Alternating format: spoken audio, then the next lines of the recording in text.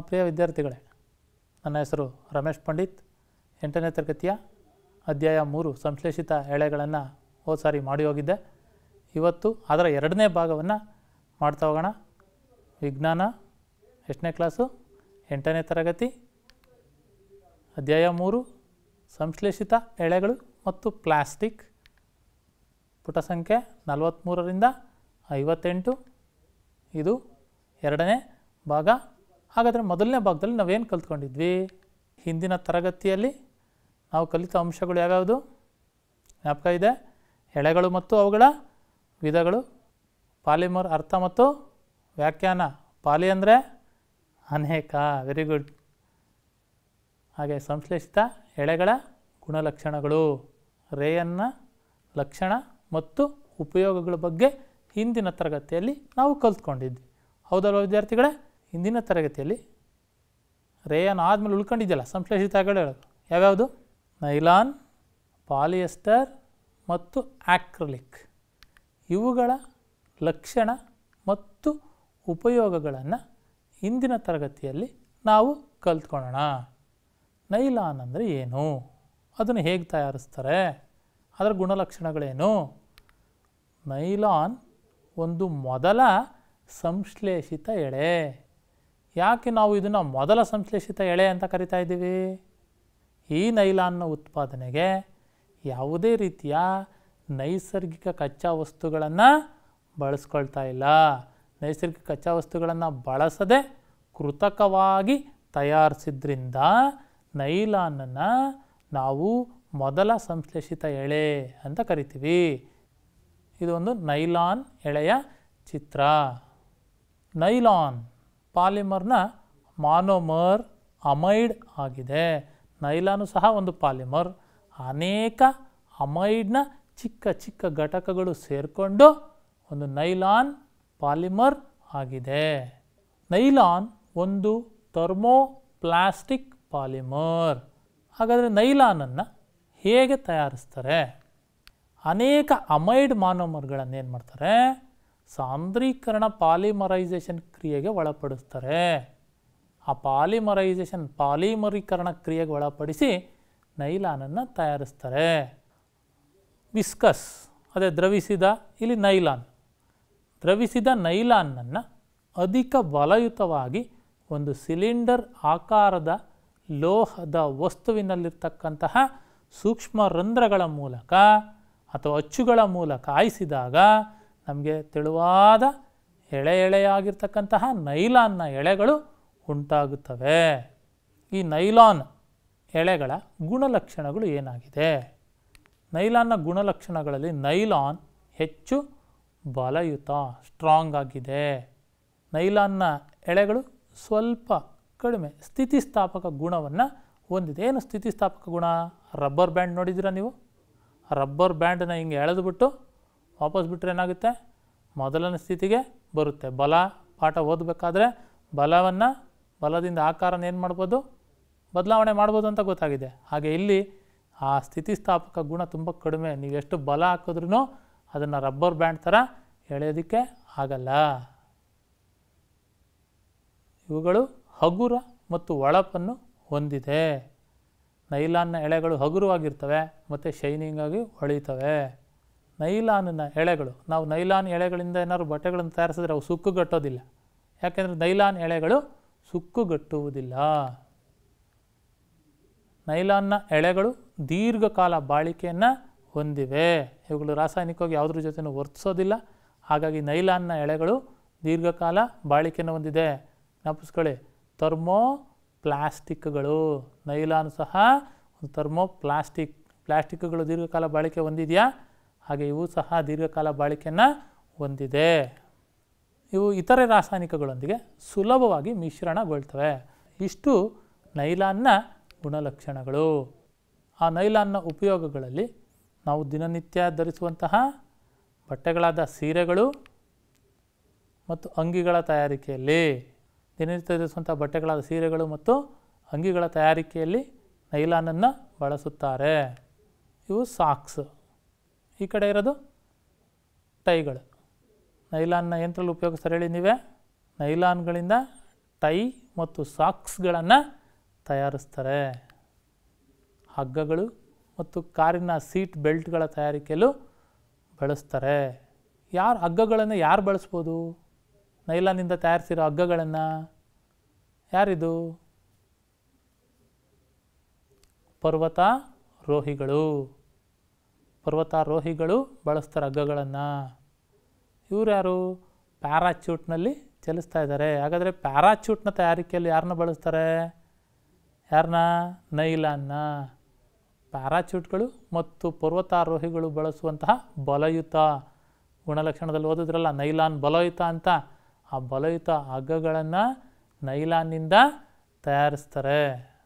ಮೀನಿನ ಬಲೆಗಳನ್ನು ಸಹ ನೈಲಾನ್ನಿಂದ ತಯಾರಿಸ್ತಾರೆ. ಇವು ಏನು ಅಂತ ಗುರುತಿಸ್ತೀರಾ? ಏನಿದು? ಮಾಸ್ಟ್ರು ಬೆಳಿಗ್ಗೆ ಅಲ್ಲುಜ್ ಬಂದಿದ್ದಾರೆ. ನೀವು ಅಲ್ಲುಜ್ಜಿದ್ದೀರಾ? ಹಾಗಾದರೆ ಅಲ್ಲುಜ್ಜೋದಕ್ಕೆ ಬಳಸ್ತಕ್ಕಂತಹ ಬ್ರಷ್ಗಳು, ಇದನ್ನ ಯಾಕೆ ತೋರಿಸ್ತಾ ಇದ್ದೀನಿ ಅಂತನಾ? ಈ ಬ್ರಷ್ಗಳಲ್ಲಿ ಮುಂದೆಗಡೆ ತುದಿಗಳಲ್ಲಿ ಇರ್ತಕ್ಕಂತಹ ಎಳೆಗಳು. ಈ ಎಳೆಗಳನ್ನು ಯಂತ್ರದಿಂದ ತಯಾರಿಸಿರ್ತಾರೆ ಹೇಳಿ? ನೈಲಾನ್ಗಳಿಂದ. ಹಾಗಾಗಿ ಬ್ರಷ್ಗಳ ಇನ್ನೊಂದು ಬ್ರಷ್ ಯಾವ್ದು ಹೇಳಿ? ನೋಡಿದ್ದೀರಾ? ಇದೇನು ಬ್ರಷು?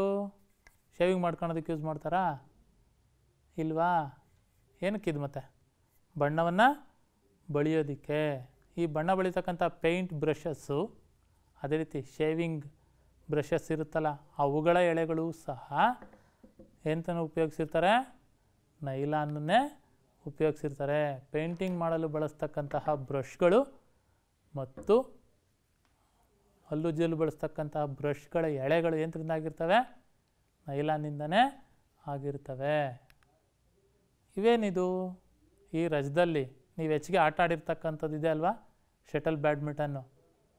Shuttle rackets strings ಇರುತ್ತಲ್ಲ, ದಾರದ ಎಳೆಗಳು, ಅವುಗಳ ನಿಯಂತ್ರಣ ಮಾಡಿರ್ತಾರೆ ಗೊತ್ತಾ? ನೀವೇನು ಹೊಡೆದೆ ನಾನು ಶಾಟ್ನ, ಏನು ಫಾಸ್ಟಾಗಿ ಹೋಯ್ತು ಶಟಲ್ಲು ಅಂತ ಹೇಳ್ತಿರಲ್ಲ, ಕಾಕ್ನೆಲ್ಲ. ಸೊ, ಆ ಸ್ಟ್ರಿಂಗ್ಸ್ನ ಯಂತ್ರದಿಂದ ಯೂಸ್ ಮಾಡಿರ್ತಾರೆ? ಟೆನ್ನಿಸ್ ಬ್ಯಾಟ್ ಮತ್ತು ಶಟಲ್ ರ್ಯಾಕೆಟ್ಗಳ ದಾರದ ಎಳೆಗಳನ್ನು ಆ ಸ್ಟ್ರಿಂಗ್ಸ್ನ ನೈಲಾನ್ನಿಂದನೇ ತಯಾರಿಸಿರ್ತಾರೆ. ಅದಕ್ಕೆ ಅದು ಹೆಚ್ಚು ಬಲಯುತವಾಗಿರುತ್ತೆ. ಬೇಗ ಹಾಳಾಗೋಗಲ್ಲ. ನೈಲಾನ್ನ ಅನೇಕ ಉಪಯೋಗಗಳನ್ನು ತಿಳ್ಕೊಂಡ್ವಿ. ಈಗ ಮುಂದಿನ ನೈಲಾನ್ ಆದಮೇಲೆ ಪಾಲಿ ಎಸ್ಟರ್ ಪಾಲಿ ಎಸ್ಟರ್ನ ಗುಣಲಕ್ಷಣಗಳೇನು? ಅದನ್ನು ಹೇಗೆ ತಯಾರಿಸ್ತಾರೆ? ಮತ್ತು ಅವುಗಳ ಉಪಯೋಗಗಳೇನು ಅಂತ ತಿಳ್ಕೊಳ್ಳೋಣ. ಪಾಲಿ ಎಸ್ಟರ್ ವಿದ್ಯಾರ್ಥಿಗಳೇ ನೀವೇ ಹೇಳಿ, ಪಾಲಿ ಅಂದರೆ ಅನೇಕ. ಮಾನವರ್ಗಳು ಯಾವುದು? Ester. Very good poly ester ಅಂದರೆ ಅನೇಕ ಎಸ್ಟರ್ನ ಅಣುಗಳನ್ನು ಸೇರಿಸಿ ಆಗಿರ್ತಕ್ಕಂಥ ಒಂದು ಪಾಲಿಮರ್. ಎಸ್ಟರ್ ಎಂಬ ಮಾನೋಮರ್ಗಳಿಂದಾದ ಪಾಲಿಮರ್ ಎಳೆ ಪಾಲಿಯೆಸ್ಟರ್. ಹಾಗಾದರೆ ಎಸ್ಟರ್ ಅಂದರೆ ಏನು? ನೀವು ಹಣ್ಣಿನ ವಾಸನೆ ಗುರುತಿಡಿತೀರಾ? ನಿಮ್ಮ ಹಣ್ಣಿನ ಫೇವ್ರೇಟ್ ಹಣ್ಣು ಯಾವುದು ನಿಮಗೆ? ಇಷ್ಟವಾಗಿರ್ತಕ್ಕಂಥ ಹಣ್ಣು. ಬೇಗ ವಾಸನೆ ಗೊತ್ತಾಗೋದು. ಹಣ್ಣು ಗೊತ್ತಾಗುತ್ತಾ? ಮಾವಿನ ಹಣ್ಣಿನ ವಾಸನೆ ಗೊತ್ತಾಗುತ್ತಾ? ಆ ಹಣ್ಣುಗಳ ವಾಸನೆಗೆ ಕಾರಣವಾಗಿರ್ತಕ್ಕಂಥ ಒಂದು ರಾಸಾಯನಿಕ ವಸ್ತುವೇ ಎಸ್ಟರ್. ಎಸ್ಟರ್ ಹಣ್ಣುಗಳ ವಾಸನೆಗೆ ಕಾರಣವಾದ ಒಂದು ರಾಸಾಯನಿಕ ವಸ್ತು. ಪಾಲಿಯೆಸ್ಟರ್ಗಳಲ್ಲಿ ಪ್ರಮುಖವಾದದ್ದು ಟೆರಿಲಿನ್. ನೀವು ಬಟ್ಟೆ ತರೋದಕ್ಕೆ ಹೋದಾಗ ಆ ಟೆರಿಲಿನ್ ಅನ್ನೋದು ಒಂದು ಪಾಲಿಯೆಸ್ಟರ್. ಅದರಲ್ಲಿ ಪಾಲಿಯೆಸ್ಟರ್ನಲ್ಲಿ ಈ ಟೆರಲಿನ್ ಅನ್ನೋದು ತುಂಬ ಪ್ರಮುಖ. ಈ ಪಾಲಿಯೆಸ್ಟರು ಸಹ ಒಂದು ಥರ್ಮೋಪ್ಲಾಸ್ಟಿಕ್ ಪಾಲಿಮರ್. ಇದು ಸಹ ಅಧಿಕ ದೀರ್ಘಕಾಲ ಬಾಳಿಕೆ ಬರುತ್ತೆ. ಇದು ಸಹ ಒಂದು ಥರ್ಮೋಪ್ಲಾಸ್ಟಿಕ್ ಪಾಲಿಮರ್. ಹಾಗಾದರೆ ಪಾಲಿಯೆಸ್ಟರ್ನ ಹೇಗೆ ತಯಾರಿಸ್ತಾರೆ? ಪೆಟ್ರೋ ರಾಸಾಯನಿಕಗಳು, ಪೆಟ್ರೋಲಿಯಂ ಉತ್ಪನ್ನಗಳಿಂದ ಪಡೆದಂತಹ ರಾಸಾಯನಿಕಗಳನ್ನು ಪೆಟ್ರೋ ರಾಸಾಯನಿಕಗಳು ಅಂತ ಕರಿತೀವಿ. ಆ ಪೆಟ್ರೋ ರಾಸಾಯನಿಕಗಳಿಂದ ಪಡೆದ ರಾಸಾಯನಿಕಗಳನ್ನು ಬಳಸಿ ಪಾಲಿಯೆಸ್ಟರ್ಗಳನ್ನು ಅಭಿವೃದ್ಧಿಪಡಿಸ್ತಾರೆ. ಹಾಗಾದರೆ ಇಲ್ಲಿ ಪಾಲಿಯೆಸ್ಟರ್ನ ಹೇಗೆ ತಯಾರಿಸ್ತಾರೆ? ದ್ರವಿಸಿದ ಪಾಲಿಯೆಸ್ಟರ್ ದ್ರಾವಣವನ್ನು ಬಲಯುತವಾಗಿ ಸ್ಪಿನರೆಟ್ ಸ್ಪಿನರೆಟ್ ಅಂತಂದರೆ ಸುರುಳಿ ಸುರುಳಿಯಾಗಿ ಸುತ್ತತಕ್ಕಂತಹ ಒಂದು ಲೋಹದ ವಸ್ತು. ಆ ಸ್ಪಿನರೆಟ್ನ ಸೂಕ್ಷ್ಮ ರಂಧ್ರಗಳ ಮೂಲಕ ಆಯಿಸಿದಾಗ ಪಾಲಿಯೆಸ್ಟರ್ನ ಎಳೆಗಳು ಉಂಟಾಗುತ್ತವೆ. ದ್ರವಿಸಿದ ಪಾಲಿಯೆಸ್ಟರನ್ನು ಬಲಯುತವಾಗಿ ಸ್ಪಿನರೆಟ್ ಸೂಕ್ಷ್ಮ ರಂಧ್ರಗಳ ಮೂಲಕ ಹಾಯಿಸಿದಾಗ ಪಾಲಿಯೆಸ್ಟರ್ ಎಳೆಗಳು ಉಂಟಾಗುತ್ತವೆ. ಪಾಲಿಯೆಸ್ಟರ್ಗಳು ನೈಲಾನ್ಗಿಂತ ಹೆಚ್ಚು ಬಲಯುತ. ನೈಲಾನ್ ಎಳೆಗಿಂತ ಇವು ಹೆಚ್ಚು ಸ್ಟ್ರಾಂಗು. ಮತ್ತು ನೈಲಾನ್ಗಿಂತಲೂ ಇವೇನಾಗಿವೆ ಸಾಫ್ಟ್. ಸಾಫ್ಟ್ ಅಂದರೆ ಮೃದುವಾಗಿವೆ. ಈ ಪಾಲಿಯೆಸ್ಟರ್ ಎಳೆಗಳಿಂದ ತಯಾರಿಸಿದಂತಹ ಬಟ್ಟೆಗಳಿದೆಯಲ್ಲ, ಅದು ಸುಲಭವಾಗಿ ಸುಕ್ಕುಗಟ್ಟೋದಿಲ್ಲ. ನೀವು ಅಂಗಡಿಗೆ ಬಟ್ಟೆಗಳನ್ನು ತಗೊಂಡೋಗಿ ಹೋದಾಗ ಅವನು ಬಟ್ಟೆನೆಲ್ಲ ಹಿಂಗೆ ಮಾಡಿಬಿಟ್ಟು, ನೋಡಿ, ಒಂದು ಸ್ವಲ್ಪನೂ ಸುಕ್ಕುಗಟ್ಟೋದಿಲ್ಲ ಇದು. ಇದು ಪಾಲಿಯೆಸ್ಟರ್ನಿಂದಾಗಿದೆ ಅಂತ ಹೇಳ್ತಾರೆ ಪಾಲಿಸ್ಟರ್ ಅಂತ ಸಾಮಾನ್ಯವಾಗಿ ಕಾಮನ್ ಪದ ಬಳಸ್ತಾರೆ, ಆದರೆ ಅದು ಪಾಲಿ ಎಸ್ಟರ್ ಆಗ ಇದರಿಂದ ತಯಾರಿಸಿದಂಥ ಎಳೆಗಳ ಬಟ್ಟೆಗಳು ಸುಲಭವಾಗಿ ಏನಾಗಲ್ಲ ಸುಕ್ಕುಗಟ್ಟೋದಿಲ್ಲ ಆಗ ಇದಕ್ಕೆ ಐರನ್ ಅವಶ್ಯಕತೆಯೇ ಇರಲ್ಲ. ಯಾವಾಗಲೇ ಆಗಿರ್ತವೆ, ಇವು ಗರಿ ಗರಿಯಾಗಿಯೇ ಇರುತ್ತವೆ. ಮತ್ತು ಈ ರೀತಿ ಗರಿ ಗರಿಯಾಗಿದ್ದಾಗ ಸುಕ್ಕಾಗಲ್ಲ ಅಂದಾಗ ಅಮ್ಮನಿಗೆ ಸುಲಭ. ಇವುಗಳನ್ನು ಸಂಶ್ಲೇಷಿತ ಹೇಳಿ ಜ್ಞಾಪಿಸ್ಕೊಳ್ಳಿ. ನಿರ್ವಹಣೆ ಸುಲಭ ಅಂತ ಓದಿದ್ರಲ್ಲ. ಈ ಪಾಲಿಯೆಸ್ಟರ್ನಿಂದ ತಯಾರಿಸಿದ ಬಟ್ಟೆಗಳನ್ನು ತೊಳೆಯೋದು ಮತ್ತು ಒಗೆಯೋದಕ್ಕೆ ಬಹಳ ಸುಲಭವಾಗಿರುತ್ತೆ. ಹಾಗಾದ್ರೆ ಈ ಪಾಲಿಯೆಸ್ಟರ್ಗಳಲ್ಲಿ ವಿಭಿನ್ನವಾಗಿ ಕೆಲವೊಂದು ಸರಿ ಹೋದಾಗ ಇದು ಪಾಲಿಕಾಟ್, ಟೆರಿಲಿನ್ ಮೊದಲು ಪಾಲಿಕಾಟ್ ಅಂತಾರೆ. ಏನು ಪಾಲಿ ಅಂದರೆ? ಪಾಲಿ ಎಸ್ಟರ್ನ ಹತ್ತಿಯೊಂದಿಗೆ ಮಿಶ್ರಣ ಮಾಡಿದ್ರೆ. ಹತ್ತಿಗೆ ಇಂಗ್ಲೀಷಲ್ಲಿ ಏನಂತೀವಿ? ಕಾಟನ್ ಅಂತ ಕರಿತೀವಿ. ಹಾಗಾಗಿ ಹತ್ತಿಯೊಂದಿಗೆ ಮಿಶ್ರಣ ಮಾಡಿರ್ತಕ್ಕಂಥ ಪಾಲಿಯೆಸ್ಟರ್ ಎರಡನ್ನೂ ಸೇರಿಸಿ ಏನು ಮಾಡ್ತೀವಿ? ಪಾಲಿಕಾಟ್. ಪಾಲಿಕಾಟ್, ಪಾಲಿಯೆಸ್ಟರ್ ಎಳೆಗಳು ಇರುತ್ತೆ ಹತ್ತಿಯ ಎಳೆಗಳು ಇರುತ್ತೆ. ಅವೆರಡರ ಮಿಶ್ರಣದಿಂದ ತಯಾರಿಸಿರೋದೆ ಪಾಲಿಕಾಟ್ಗಳು. ಇನ್ನು ಪಾಲಿ ಊಲ್ ಗೊತ್ತಾಗ್ತಾ ಇದೆ. ಪಾಲಿಯೆಸ್ಟರು ಮತ್ತು ಊಲ್ ಅಂದರೆ ಏನು ಇಂಗ್ಲೀಷಲ್ಲಿ? ಊಲ್ ಅಂದರೆ ಕನ್ನಡದಲ್ಲಿ ಉಣ್ಣೆ. ಹಾಗಾಗಿ ಪಾಲಿಯೆಸ್ಟರ್ನೊಂದಿಗೆ ಉಣ್ಣೆನ ಮಿಶ್ರಣ ಮಾಡಿದ್ರೆ ಅದನ್ನು ನಾವೇನಂತ ಕರಿತೀವಿ? ಪಾಲಿ ಊಲ್ ಅಂತ ಕರಿತೀವಿ. ಸೊ ಎಸ್ಟರ್ಗಳು ಎಂಬ ರಾಸಾಯನಿಕದ ಪುನರಾವರ್ತಿತ ಘಟಕಗಳಿಂದ ಮಾಡಲ್ಪಟ್ಟಿರುವುದೇ ಪಾಲಿಯೆಸ್ಟರ್. ಇವುಗಳಲ್ಲಿ ಹತ್ತಿಯೊಂದಿಗೆ ಮಿಶ್ರಣ ಮಾಡಿದ್ರೆ ಅದನ್ನು ಪಾಲಿಕಾಟ್ ಅಂತ ಕರಿತೀವಿ. ಅದಿ ಪಾಲಿಯೆಸ್ಟರ್ಗಳನ್ನು ಉಣ್ಣೆಯೊಂದಿಗೆ ಮಿಶ್ರಣ ಮಾಡಿದ್ರೆ ಅದನ್ನು ಪಾಲಿವೂಲ್ ಅಂತ ಕರಿತೀವಿ. ಇನ್ನೊಂದು ಪ್ರಮುಖವಾಗಿ ಪಾಲಿಯೆಸ್ಟರನ್ನು ಒಂದು ಚಿರಪರಿಚಿತ ರೂಪ. ನಿಮಗೆಲ್ಲರಿಗೂ ಗೊತ್ತಿದೆ. ಅದೇ ಪೆಟ್. ನೀವು ವಾಟರ್ ಬಾಟಲ್ಗಳ ಮೇಲೆ P E T C P E T ಅಂತ ಬರೆದಿರ್ತಾರೆ. ನೋಡಿದ್ದೀರಾ? ಥರ್ಮೋಪ್ಲಾಸ್ಟಿಕ್. ಪಾಲಿಯೆಸ್ಟರ್ ಸಹ ಒಂದು ಥರ್ಮೋಪ್ಲಾಸ್ಟಿಕ್. ಪಾಲಿಯೆಸ್ಟರ್ನ ಉಪಯೋಗಗಳು ನಮಗೆ ಗೊತ್ತಿರೋ ಹಾಗೆ ಸುಕ್ಕುಗಟ್ಟೋದಿಲ್ಲ ಗರಿ ಗರಿಯಾಗಿರ್ತವೆ ಎಲ್ಲಿ ಬಳಸ್ತೀವಿ? ಅಂಗಿಗಳು ಮತ್ತು ಇತರೆ ಉಡುಪುಗಳ ತಯಾರಿಕೆಯಲ್ಲಿ ಬಳಸುತ್ತೇವೆ.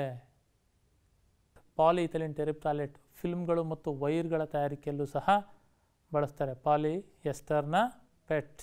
ಫಿಲ್ಮ್ಗಳು ಮತ್ತು ವೈರ್ಗಳ ತಯಾರಿಕೆಯಲ್ಲಿ ಬಳಸ್ತಾರೆ. ಸೊ, ಇಷ್ಟು ಪಾಲಿಯೆಸ್ಟರ್ನ ಉಪಯೋಗಗಳು. ಇನ್ನೊಂದು ಉಳ್ಕೊಂಡಿದೆಯಲ್ಲ, ಸಂಶ್ಲೇಷಿತಾಳೆ. ರೇಯಾನ್ ಆಯಿತು, ನೈಲಾನ್ ಆಯಿತು, ಪಾಲಿಯೆಸ್ಟರ್ ಆಯಿತು ಇನ್ನೊಂದು ಇದೆಯಲ್ಲ ಯಾವುದದು? ಅದೇ ಆಕ್ರಿಲಿಕ್. ಆಕ್ರಿಲಿಕ್ಕು ಸಹ ಒಂದು ಪಾಲಿಮರ್, ಸಂಶ್ಲೇಷಿತ ಎಳೆ. ಹಾಗಾದರೆ ಕೃತಕ ರೇಷ್ಮೆಗಾಗಿ ಏನು ತಯಾರಿಸಿದ್ರು? ರೇಯಾನನ್ನು ತಯಾರಿಸಿದ್ರು. ಕೃತಕ ಉಣ್ಣೆ ಬರಬೇಕಲ್ವ? ಆ ಉಣ್ಣೆ ಹೆಚ್ಚಿಗೆ ಆಗಿರೋದ್ರಿಂದ, ದುಬಾರಿ ಆಗಿರೋದ್ರಿಂದ ನೈಸರ್ಗಿಕ ಮೂಲಗಳಿಂದ ಪಡೆದ ಉಣ್ಣೆ ದುಬಾರಿ ಆದ್ದರಿಂದ ಅದಕ್ಕೆ ಪರ್ಯಾಯವಾಗಿ ತಯಾರಿಸಿದಂಥ ಸಂಶ್ಲೇಷಿತ ಎಳೆಯೇ ಆಕ್ರಿಲಿಕ್. ಆಕ್ರಿಲಿಕ್ನಿಂದ ತಯಾರಿಸಿದ ಬಟ್ಟೆಗಳು ಸಾಪೇಕ್ಷವಾಗಿ ಅಗ್ಗ ಕಡಿಮೆ ಬೆಲೆಗೆ ನಮಗೆ ಸಿಗ್ತವೆ. ಆಕ್ರಿಲಿಕ್ ನಮಗೆ ವಿವಿಧ ಬಣ್ಣಗಳಲ್ಲಿ ದೊರಕುತ್ತವೆ. ಆಕ್ರಿಲಿಕ್ ಪಾಲಿಮರ್ ಅಥವಾ ಸಂಶ್ಲೇಷಿತ ಎಳೆ ಆದ ತಕ್ಷಣ ಅದು ದೀರ್ಘ ಬಾಳಿಕೆಯನ್ನು ಹೊಂದಿದೆ. ಅದು ಗುಣಲಕ್ಷಣ. ಆಕ್ರಿಲಿಕ್ನ ಉಪಯೋಗಗಳು ಏನು? ಏನಿದು? ಸ್ವೆಟರ್ ಆಕ್ರಿಲಿಕ್ನ ಸ್ವೆಟರ್ಗಳು ಮತ್ತು ಶಾಲುಗಳ ತಯಾರಿಕೆಯಲ್ಲಿ ಬಳಸುತ್ತವೆ. ಯಾಕೆಂದರೆ ಊಲ್ ನೀವು ಉಣ್ಣೆಯಿಂದ ತಗೋಬೇಕು ಅಂದರೆ ತುಂಬ ಕಾಸ್ಟ್ಲಿ ಆಗುತ್ತೆ. ಆ ಉಣ್ಣೆಯ ಬದಲಿಗಿರ್ತಕ್ಕಂಥ ಆಕ್ರಿಲಿಕ್ನ ಸ್ವೆಟರ್ ಮತ್ತು ಶಾಲುಗಳು ನಿಮಗೆ ಭಾಳ ಅಗ್ಗದ ಬೆಲೆಯಲ್ಲಿ ಸಿಗುತ್ತವೆ. ಅದೇ ರೀತಿ ಇದು ಏನಿದು?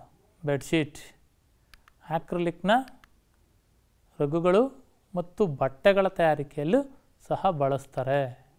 ಹಾಗಾದರೆ ಇದುವರೆಗೂ ನಾವು ಸಂಶ್ಲೇಷಿತ ಎಳೆಗಳಾದ ರೇಯಾನ್ ನೈಲಾನ್ ಪಾಲಿಯೆಸ್ಟರ್ ಮತ್ತು ಆಕ್ರಿಲಿಕ್ ಬಗ್ಗೆ ತಿಳ್ಕೊಂಡಿದ್ದೀವಿ.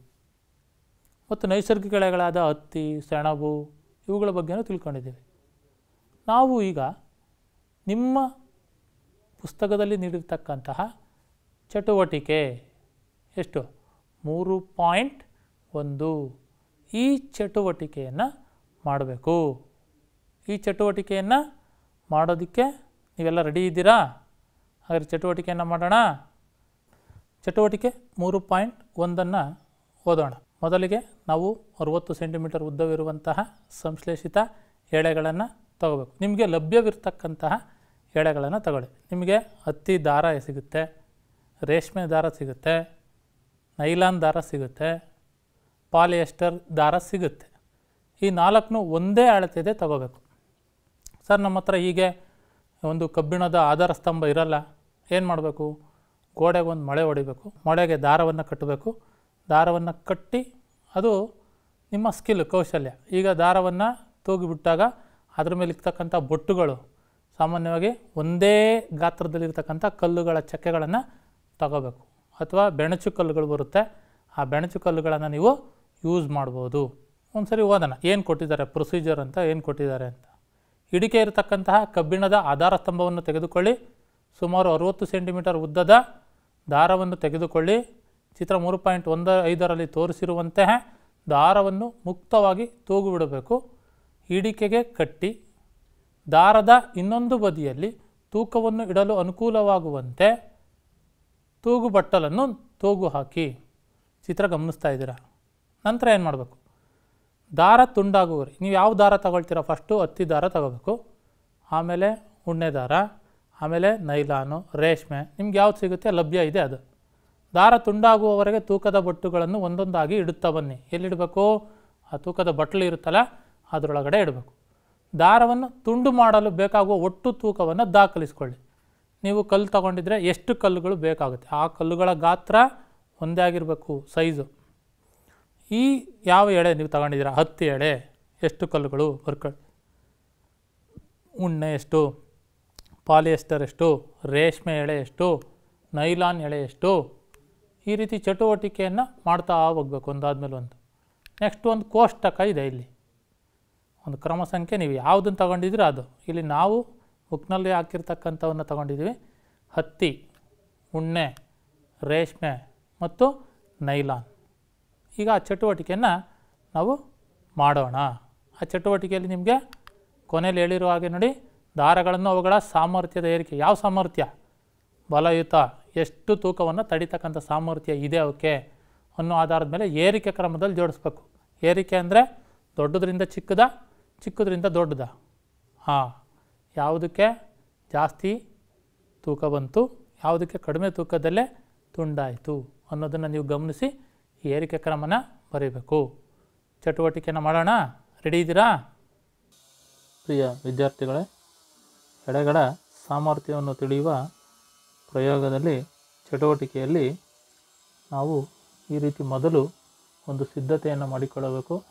ಒಂದು ಆಧಾರ ಸ್ತಂಭಕ್ಕೆ ದಾರವನ್ನು ಮತ್ತು ತೂಗು ಬಟ್ಟಲನ್ನು ಕಟ್ಟಿ ಈ ರೀತಿ ತೂಗು ಹಾಕಬೇಕು. ಅರುವತ್ತು ಸೆಂಟಿಮೀಟರ್ ಉದ್ದವಿರುವ ಹತ್ತಿ ಎಡೆ, ಹತ್ತಿಯ ದಾರ, ಉಣ್ಣೆಯ ದಾರ ರೇಷ್ಮೆ ದಾರ ಹಾಗೂ ನೈಲಾನ್ನ ದಾರವನ್ನು ತೆಗೆದುಕೊಳ್ಳಬೇಕು. ಒಂದೇ ಗಾತ್ರದ ಕಲ್ಲುಗಳನ್ನು ಆಯ್ಕೆ ಮಾಡಿಕೊಳ್ಳಿ. ಅಲ್ಲಿಗೆ ಹತ್ತಿಯ ದಾರವನ್ನು ಈ ರೀತಿ ಹೊಂದಾಣಿಕೆಯನ್ನು ಮಾಡಿ ಒಂದು ಕಲ್ಲನ್ನು ಹಾಕಬೇಕು. ಒಂದು ಕಲ್ಲನ್ನು ಹಾಕಿದ ನಂತರ ಇದು ಮೂರು ಕಲ್ಲುಗಳನ್ನು ಜೋಡಿಸಿದ ನಂತರ ಮತ್ತೆ ಇನ್ನೂ ತೂಕವನ್ನು ಹಾಕುತ್ತಾ ಹೋಗಬೇಕು. ಹತ್ತಿಯ ದಾರವನ್ನು ತೆಗೆದುಕೊಂಡು ಈ ರೀತಿ ತೂಗು ಹಾಕಿ ಎರಡು ಕಲ್ಲುಗಳನ್ನು ಹಾಕಿದ ನಂತರವೂ ಹಾಗೆ ನಿಂತಿದೆ. ಮೂರನೇ ಕಲ್ಲು.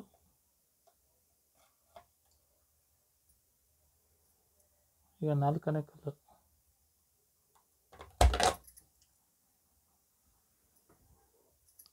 ನಾಲ್ಕು ಕಲ್ಲುಗಳನ್ನು ತೆಗೆದುಕೊಂಡಿದೆ. ಇದೇ ಅದರ ಸ್ತಂಭಕ್ಕೆ ಈಗ ಉಣ್ಣೆಯ ದಾರವನ್ನು ಕಟ್ಟಲಾಗಿದೆ. ಉಣ್ಣೆಯ ದಾರದ ಸಾಮರ್ಥ್ಯವನ್ನು ತಿಳಿಯೋಣ. ಒಂದು ಕಲ್ಲನ್ನು ಹಾಕಿದ ನಂತರ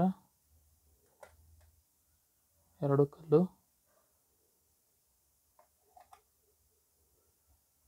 ಮೂರು ಕಲ್ಲು,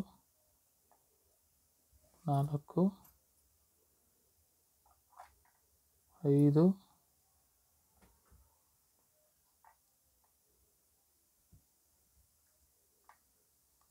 ಆರು ಕಲ್ಲುಗಳು.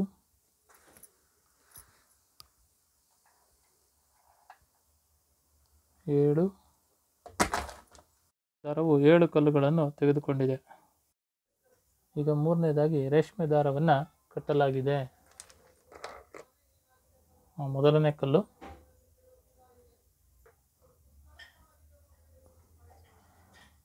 ಎರಡನೇದು. ನಾಲ್ಕು ಕಲ್ಲುಗಳಿಗೆ ಕತ್ತರಿಸಲಾಗಿದೆ. ಅನ್ನ ಎಳೆಯನ್ನು ಜೋಡಿಸಲಾಗಿದೆ.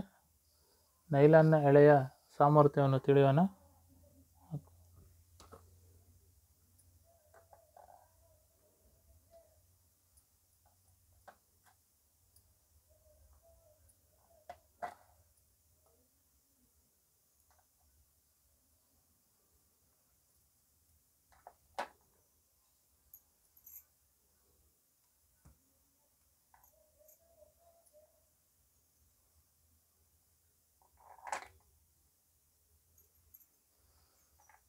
ನೋಡಿ ಎಷ್ಟು ಕಲ್ಲುಗಳನ್ನು ಹಾಕಿದರೂ ಆ ನೈಲಾನ್ ಒಂದು ಸಂಶ್ಲೇಷಿತ ಎಳೆಯಾಗಿದ್ದು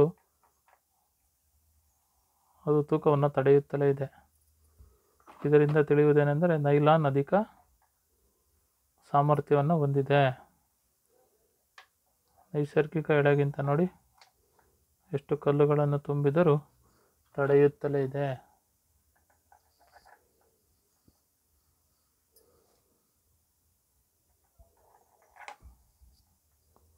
ನೈಲಾನ್ ಹೆಚ್ಚು ಕಲ್ಲುಗಳನ್ನು ಜೋಡಿಸಿದರೂ ತುಂಬುತ್ತಲೇ ಇದ್ದರೂ ತಡೆಯುತ್ತಲೇ ಇದೆ. ತುಂಡಾಗುತ್ತಾನೇ ಇಲ್ಲ. ಹಾಗಾಗಿ ಇದು ನೈಲಾನ್ ಹೆಚ್ಚು ಬಲಯುತ, ಸಂಶ್ಲೇಷಿತ ಎಳೆಗಳು ಹೆಚ್ಚು ಬಲಯುತ ಎಂಬುದು ಇದರಿಂದ ತಿಳಿಯುತ್ತೆ. ಆ ಚಟುವಟಿಕೆಯ ನಂತರ ಇವತ್ತು ನಾವೇನೇನು ಕಲ್ತ್ಕೊಂಡ್ವಿ ಅನ್ನೋದನ್ನು ಗಮನಿಸೋಣ. ಏನೇನು ಕಲ್ತ್ಕೊಂಡ್ವಿ ನಾವು? ಮೊದಲಿಗೆ ರೇಯಾನ್, ನೈಲಾನ್, ಪಾಲಿಯೆಸ್ಟರ್ ಇವುಗಳ ತಯಾರಿಕೆ ಹಾಗೂ ಲಕ್ಷಣಗಳು. ನೈಲಾನು ಪಾಲಿಯೆಸ್ಟರ್ನ ಹೆಂಗೆ ತಯಾರಿಸ್ತಾರೆ ಮತ್ತು ಅವುಗಳ ಲಕ್ಷಣಗಳನ್ನು ಕಲ್ತ್ಕೊಂಡ್ವಿ.